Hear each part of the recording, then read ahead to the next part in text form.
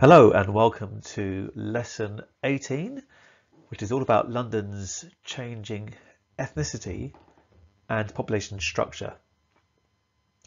First of all, let's look at London's changing ethnicity. We need to realise that ethnicity is all about the category of people who identify with each other based on common language, culture, or nationality. So an example would be Nigerians living in London. They have a shared language, shared culture, and shared nationality. Or same with the Tamil population of London. They have a, a shared language, culture, and nationality. Secondly, Ethnic diversity is the range of ethnic groups or the amount of ethnic groups living in a place. So London can be described as being ethnically diverse as there are so many ethnic groups living in the capital city.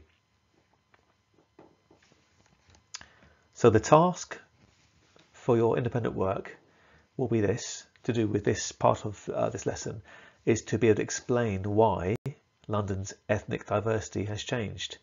And that means you've got to give reasons for it. And we'll look at those reasons.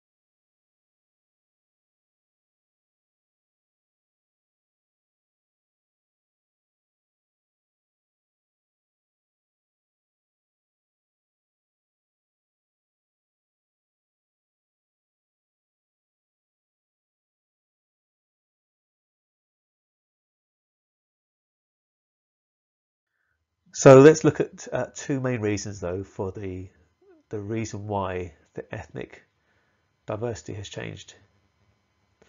And we have to really go back to 1948. Before that point, obviously three years before then, the Second World War had finished. But at this stage, London, in fact the whole of the country was very, very white. White British was the dominant ethnic group in the country there weren't very many brown faces or black faces. It was just literally white people everywhere. And if you look at any old videos of, of London, you will see that everyone's white. The big change happened when this boat arrived. This was called the Empire Windrush. And this brought the first groups of West Indians to the UK. These people were actually part of the, the British Empire at the time. Our empire was still in place. It was still called the empire. And uh, after the war finished, we needed people to come to work in the country and rebuild our economy and help us to become stronger. And so the UK opened up our economy and uh, opened up our jobs market to people from all around the empire. Now this quickly changed to become the Commonwealth. The British Commonwealth is the name given to all the countries uh, who were once part of the uh, the empire. So the British Empire became known as the British Commonwealth, and then we had lots of people from the Caribbean, but also South Asia, for example, India, Pakistan, Bangladesh, uh, who came to the UK. Uh, lots of black uh, Jamaicans um, and Caribbean and people from the Caribbean came, and then lots of brown Asians from South Asia came. So this is where, where our ethnic uh, diversity changed from not being just white to being brown and black. There were some rules initially to try to restrict this growth, but basically the rules trying to change and, and, and to slow this flow of migrants didn't really work. So London became increasingly um, ethnically diverse throughout the 1950s and 60s. And that really just carried on and has built ever since. Every decade, there have been more people continue to flow from South Asia and from the Caribbean to, uh, to London. Uh, that also includes Africans as well. Uh, obviously, uh, Nigeria was once a British colony, part of the empire, uh, and it's also a Commonwealth country. So we have lots of Nigerians. Uh, we also have lots of Sri Lankans because Sri Lanka used to be a, uh, a part of the the empire. It was called Ceylon, and therefore we have lots of Sri Lankans who are uh, Commonwealth citizens who want to come to live in London. So really, if you look at the, the, the picture of London, you can see a real Commonwealth signature of the ethnicity in London. Now, the next big change, a big reason, was Eastern Europe. Um, now, in 2004, there were 10 countries which joined the EU. And at the time, we were an EU member state. And here are the 10. So you've got Lithua, Lithuania, Estonia and Latvia. And you have Poland, the Czech Republic, etc., Slovakia, you have Cyprus and Malta. So these 10 countries, they joined the EU and the whole EU became uh, sort of further east. It grew eastwardly. Well, this resulted in a huge flow of Eastern Europeans because initially only three countries, the UK, Ireland and Sweden allowed these people to work. So lots of people, especially Polish, but also lots of Lithuanians, came to live and work in the UK. A few years later, the EU relaxed their rules, and so people from Eastern Europe could go anywhere into the country, into the EU.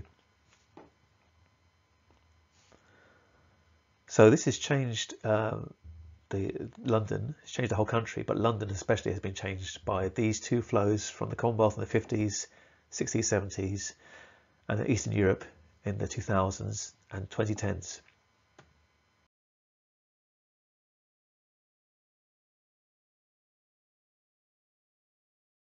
So this uh, pie chart shows us uh, some of the impact of, of these changes. Uh, this blue section is the population from uh, who were born in London and born in the UK.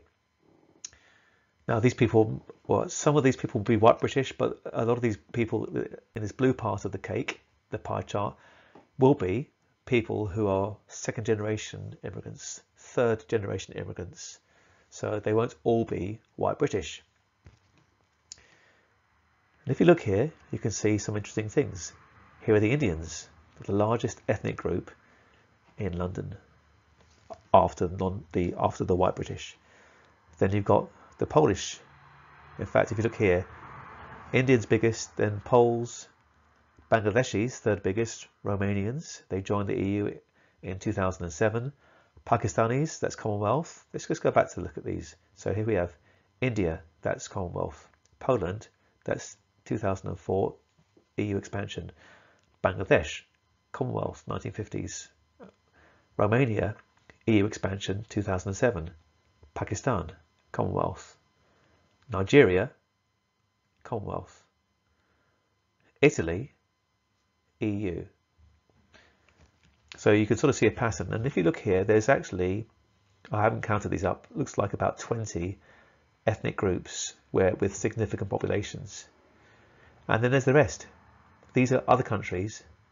Uh, so really you can see that London is a very, very globalized city in terms of its population and ethnic mix. It's incredibly diverse.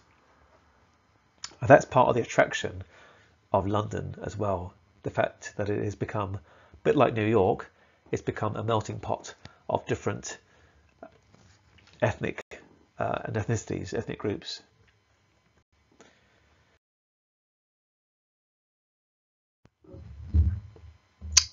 So here are some interesting facts about this actually, because we've got lots of people coming in. In fact, look at this, from 2009 to 28, 2017. So this is over an eight year period the population of London increased by almost 1 million people, half coming from the EU and the rest coming from outside the EU, which will be predominantly from Commonwealth countries.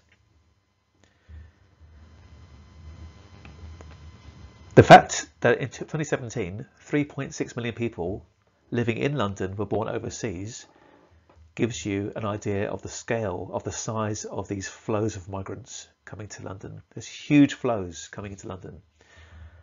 There are 8.7 million Londoners, which means 4.9 million Londoners were born in the UK so it's a really large amount of people born overseas. So that's that's a net migration figure. More people coming in than leaving. Positive net migration. But there's negative net migration of UK born Londoners with half a million leaving London.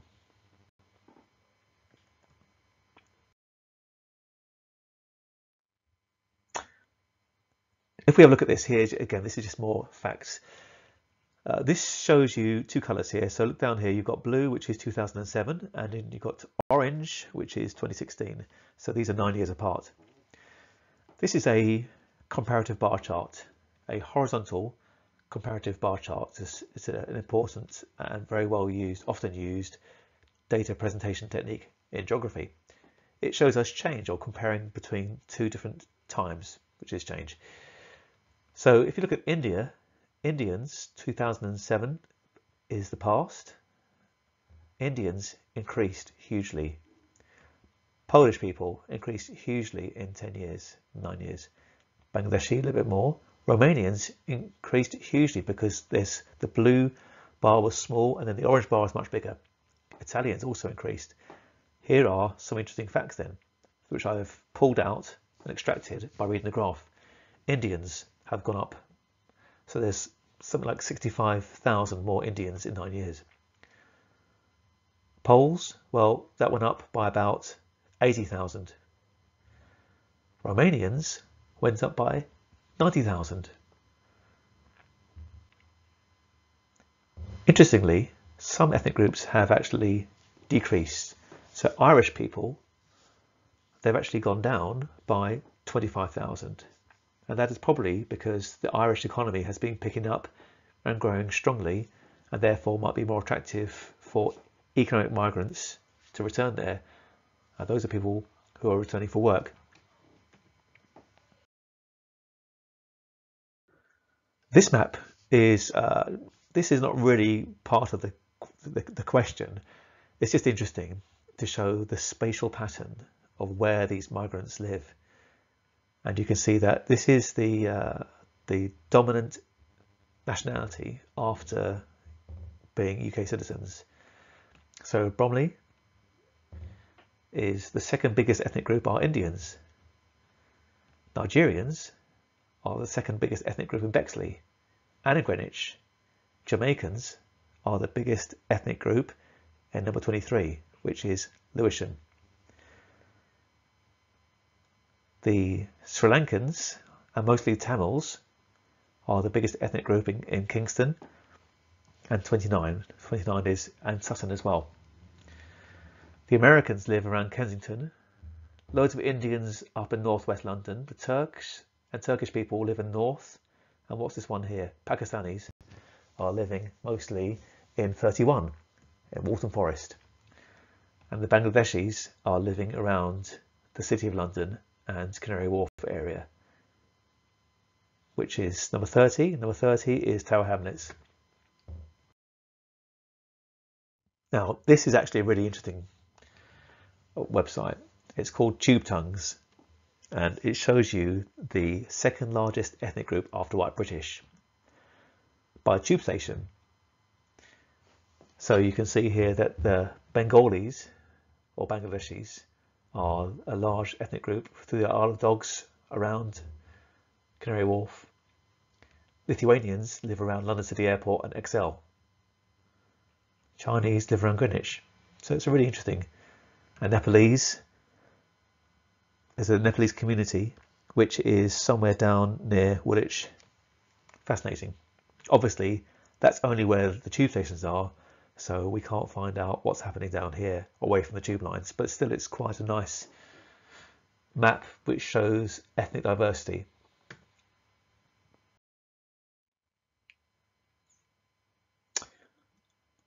Just a few things here. This shows language, and language is one measure of ethnicity because it's a shared trait between people. Here's a few things. You've got Bengali speakers in London. There's lots of Bangladeshi people, which we talked, talked about before, which is around the Canary Wharf. And London is the sixth biggest French city in the world because it's got so many French people that live here, which isn't surprising because France is next door to us.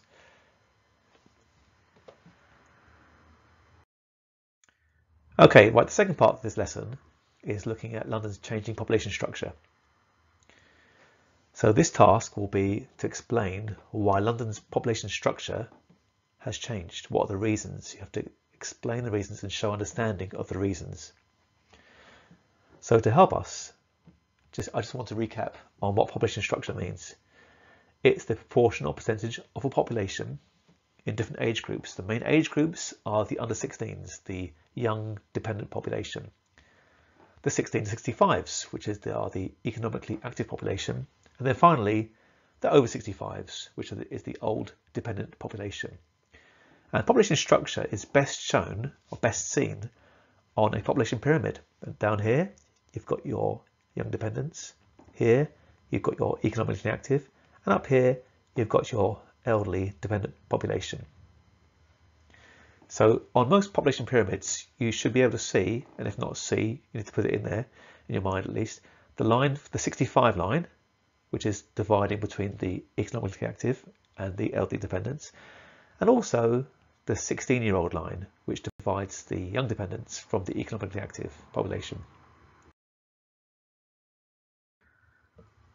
So we can see here, this is a graph uh, and actually an animated population pyramid for London. And if you look down at the bottom here, you can see the year 2001 up to 2016. Uh, and you can see how there are some changes in the shape. So there's a big bulge of people around 29 years old around there. It's very difficult to see the change there, but there are some changes and we'll have a look at those soon. It's also quite hard to see the amount of young dependents changing, but it looks like there's an increase down here going on, which is increase of births. You can see up here, these are little spikes from the, uh, the post-war baby boom, children that were born in 1943 getting older and older. That's what's happening there. But really, I think we can safely say that there isn't a lot of change in the actual structure by looking at the population pyramid. 2001. So let's have a look at this. London's population change. Well, the economy expanded by a fifth, obviously, with coronavirus. Uh, all these stats uh, will change.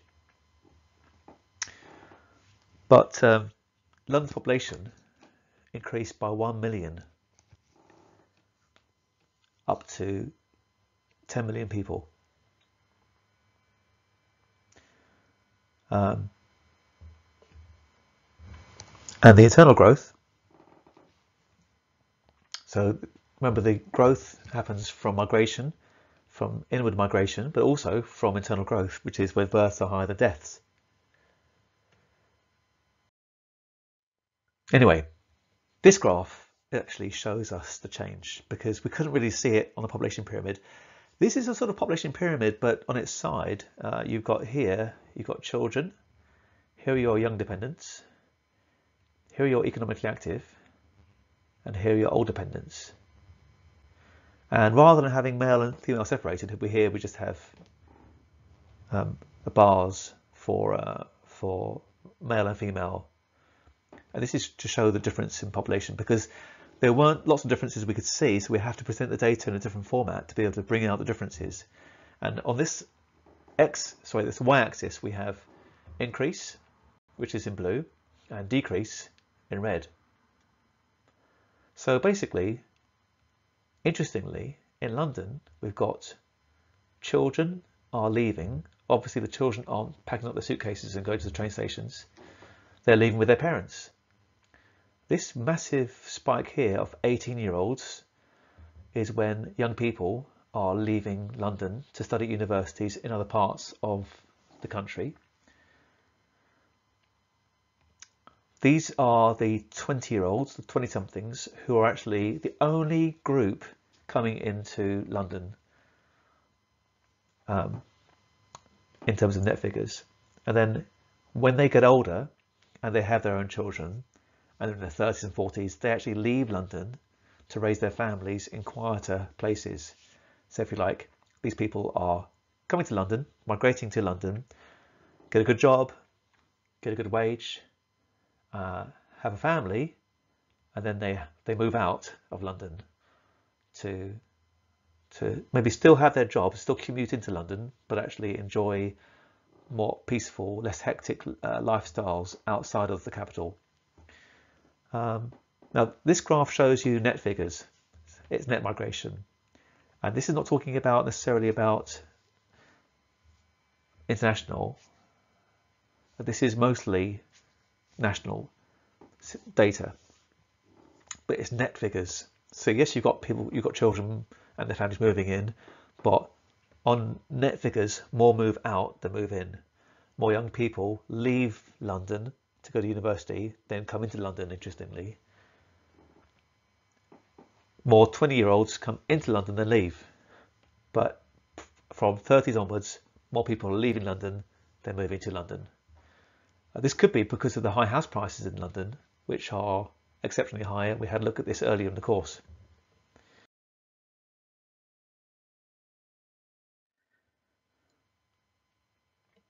So just to conclude that graph, the young domestic, which means they were born in, in the UK, they're, they're British people. It's national migration. So young national migrants move to London. They're coming from all across the country for jobs.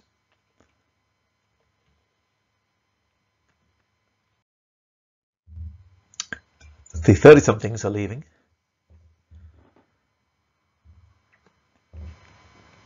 They're young families, they're moving out of the capital, they're in search of homes, which are cheaper than London's high house prices, but they stay close enough to be able to commute to London by train. And then we have, and these people, they've left London, but every day they've come back into the city to work and then leave at night time. So two thirds of those 30 somethings are still in the southeast or the Greater Southeast. But we've got now almost a million people that commute to London every day. This map shows us two things really. It shows us green and red. So green, let's have a look at this one here. This is the sort of bigger lines. This shows you where the 20 year olds migrate from. This is the flow into London. So you've got Welsh coming to London to, to work. You've got people from Oxford, from the West Midlands, from the northwest of England, from up in the northeast. Young people who are moving to London for better opportunities, better jobs. That's green. Down here are the flows out. These are the people that are probably the 30 year olds or older who lived in London but are moving out. They're not moving very, very far because they are moving out to to uh, to live uh, in a quieter place and then commute into London. So these people have to be close enough to get into London by train.